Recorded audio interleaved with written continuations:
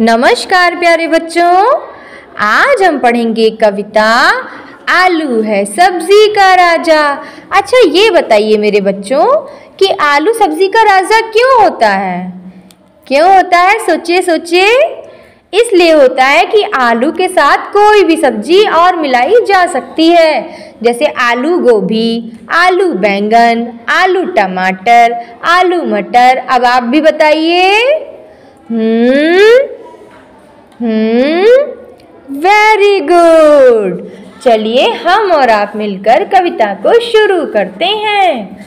आलू है सब्ज़ी का राजा, आलू है सब्ज़ी का राजा।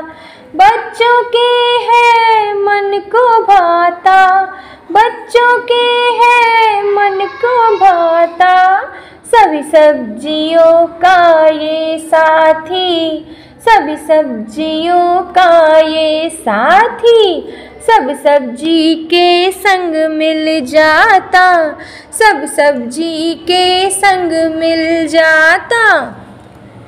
हाँ बच्चों तो सभी सब्जियों के संग आलू मिल जाता है और बहुत ही बेहतरीन सब्ज़ी बन जाती है।